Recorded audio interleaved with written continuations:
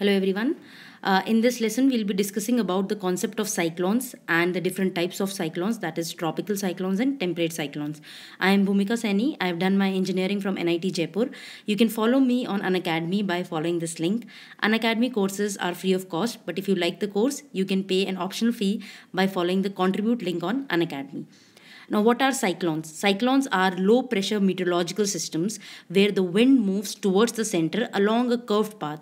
You can see it in this diagram that the winds they are moving uh, uh, towards the center, that is the low pressure, and along a curved path with increasing centripetal acceleration and the Coriolis effect towards the center. So Coriolis force is required for development of cyclone. So these are low pressure meteorological system and uh, they move uh, in anti-clockwise direction in northern hemisphere and clockwise direction in southern hemisphere.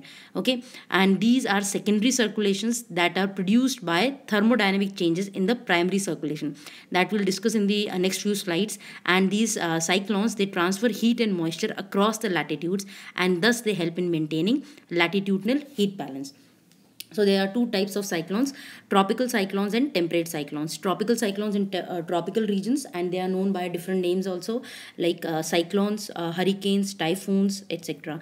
Then uh, temperate cyclones also known as extratropical cyclones. They are found in the temperate regions.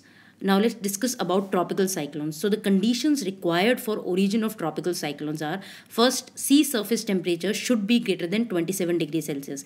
Now that is why these uh, cyclones are limited uh, or, or the period of origin is limited between April to September because the sea surface temperature has to be greater than 27 degrees Celsius. Now minimum value of Coriolis force is required because initial torque is provided by Coriolis force. That is why these cyclones are not found in the equatorial region regions that is between 5 degree north to 5 degree south because there the Coriolis force like at the equator Coriolis force is zero right and these uh, cyclones they are intensified beyond 8 degree north and south because there is significant Coriolis force there. Now apart from this a minimum vertical wind shearing is required for tropical cyclones. That's why they can't be formed in subtropical high pressure region that is 30 to 35 degree latitudes. Why? Because here the descending wind system is there. Okay the next uh, condition required is upper air anticyclogenesis condition should be there. That is needed to maintain low pressure over the ground. So when there is low pressure uh, on the ground then uh, there is upper air anticyclogenesis conditions. Then apart from this there has to be huge amount of water vapor above sea plus latent heat of condensation. That is needed because it's the latent heat of condensation only that supplies energy to the cyclone right? Now these cyclones they are pushed by trade winds right? And as they move over the sea they are gaining water vapor and latent heat and they grow in size and become mature right? And uh, apart from this intense convection and air currents in the center and converging winds at the periphery. That is also another condition for uh, origin of tropical cyclones right? So this uh, origin of tropical cyclones can be studied in different stages. Initial stage formative juvenile mature and dissipant stage. Now let's study each in detail. In the initial stage air motion is becoming circular. Here isobars are ill defined now in this uh, particular stage only the central core is developed. You can see it in this diagram that this one is the uh, initial stage. Here only the central core is developed and the winds has just started converging. Okay? Now in the uh, second stage that is the formative stage here eye will be developed and activity will begin around the eye and in this case you can see that isobars are becoming circular so in the first one isobars were ill defined but in this case the eye has developed this one is the core this is eye then uh, gradually these isobars are getting developed. Now in the third stage that is juvenile stage air convergence convection cloud formation rainfall they all become conspicuous. Because uh, in this stage uh, this cloud formation convection. You can see it in this diagram. The convection is taking place. Then cumulonimbus cloud formation is taking place. The winds are descending at the periphery. So gradually it is becoming mature. Okay? And in the fourth stage the series of clouds are fully developed uh, full development of eye and eye wall right? Spiraling bands of clouds you will see hurricane winds or winds of high velocity they have uh, started blowing. And this cyclone system this whole begins to move over the sea surface. So this is the mature stage okay? Where this whole cyclone is gradually moving over sea right? Now the last stage in the dissipant stage when this cyclone falls on land there is uh, the supply of moisture is cut off right? And that is why uh, this cyclone gradually dissipates okay? But as it falls on the land it brings about catastrophic weather events like cloud burst and uh, high rainfall uh, up to the range of 100 centimeter within minutes that can occur right? So uh, these are the five stages of uh, origin of cyclone. Now uh, cyclone uh, cyclone in this we can also study the vertical stru- structure of cyclone. Like first at the center there is eye then surrounding it there is eye wall. Then there is inner ring outer ring and annular zone.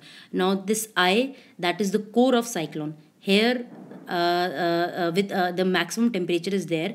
Now this is a zone of relatively calm condition why? Because the the air is mechanically subsiding here. You can see it here in this diagram.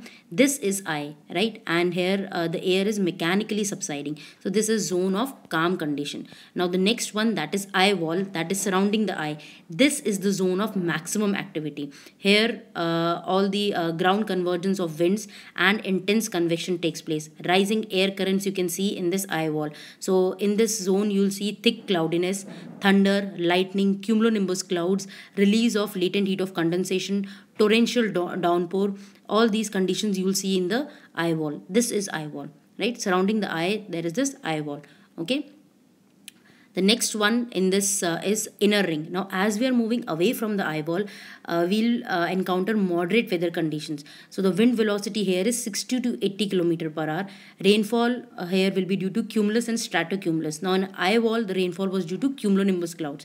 Okay, and as we are further moving away from the eyewall, that is in the outer ring, further cool and calm weather conditions uh, will be there. There will be sea breezes velocity gradually decreasing. Now velocity is less than 40 km per hour.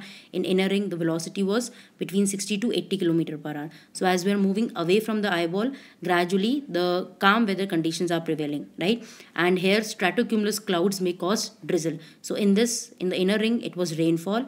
In the outer ring uh, it is drizzling. And in the eye wall it was thunder and lightning okay? Now the last zone that is annular zone it surrounds the cyclone and it's the peripheral zone where uh, subsiding cold and dry winds uh, they, uh, the, the cold and dry winds they are subsiding. This is annular zone in the diagram right? So uh, this one is eye then it is eye wall then inner ring then outer ring and the last one is annular zone where these uh, winds are subsiding. Okay now uh, the horizontal uh, components of cyclone they can be classified into four regions. You can see it in this diagram. These are the four regions region 1 region 2 region 3 and region 4 now in region 1 that is the layer uh, the upper layer that is uh, at an altitude of 10 to 12 kilometer. Here mainly the winds are flowing outwards. You can see it here. This one is the region 1 the winds are flowing outwards right? So this is outflow layer. Then region 2 this is upper tropospheric layer. That is at 6 to 10 kilometer height. Here you will see thick cloudiness spiraling bands of cloud diameter in the range of 100 to 150 kilometers so this one this zone right? Here you can see the clouds in the diagram. And this is highly energized zone okay then the third zone that is middle tropospheric layer huge amount of latent heat is released. This is also known as convective layer okay? This one is also highly energized zone just below this upper tropospheric layer. This is the uh, third zone right? Or uh, third region. Here you can see these clouds right? Then uh, the the last that is lower tropospheric layer here air convergence is taking place high velocity winds are there right? And this uh, mass of air and water vapor they are lifting right in this particular zone. And the diameter here is maximum 400 to 500 kilometers. You can see this one is the re, uh, the region 4 right? So the here the diameter is maximum okay? Uh, the convection is taking place air convergence is taking place right? So this is uh, the about tropical cyclones. Now, the, uh, the devastating mechanism of tropical cyclones, they can lead to sea swell that causes flood. They can lead to coastal uh, upsurges. Uh, here water is rising along the coast and again leading to flooding then it can lead to cloud burst condition heavy downpour hurricane winds that is uh, wind velocity uh, in the range of 120 km per hour then it also leads to lightning due to cumulonimbus clouds and that is mainly in the eye wall region so this is all about tropical cyclone. We have studied about the horizontal components, vertical components, the different phases in which the uh, tropical cyclones occur, right? The initial uh, formative, juvenile, mature and dissipant stage, right? And the conditions for the origin of tropical cyclone. Okay, thank you.